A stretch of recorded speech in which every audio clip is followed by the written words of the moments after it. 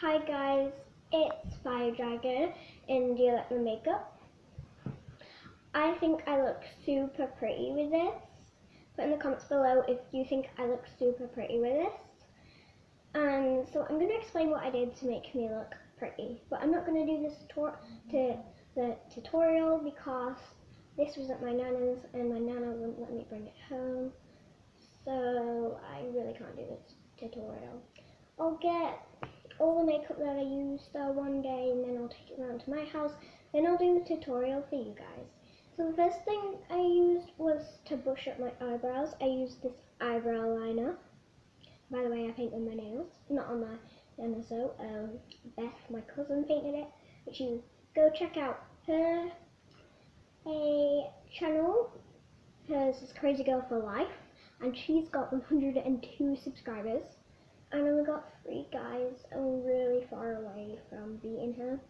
But anyway, the second thing I have to like my face is brighter than usual, my arms brighter than usual, and my legs are brighter than usual because I've got fake tan on. So you can buy fake tan from anywhere, beauty centres, even town. I don't know if you can get it from Claire's. No, I don't think you can get it from Claire's. Sorry, that's the best place to get makeup, isn't it? But anyway, let's move on to the nose. So as you can see, my nose are a bit darker Yeah. I used the eyebrow liner and just did some like little curly lines there to darken it up and then just rubbed it in. So second I used lipstick. I used four layers of lipstick. I used um, pink, dark pink, red, and then another dark pink. So that's what I ended up with this. Nice colour.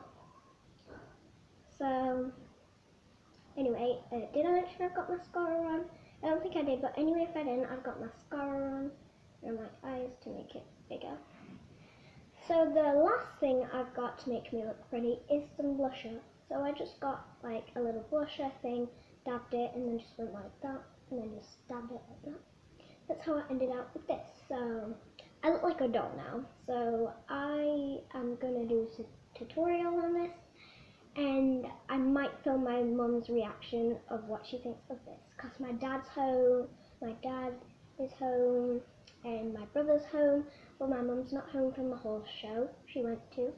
So what I will do one on my mum and probably my granddad if he if he comes around. So um, that's it. So anyway, see you guys.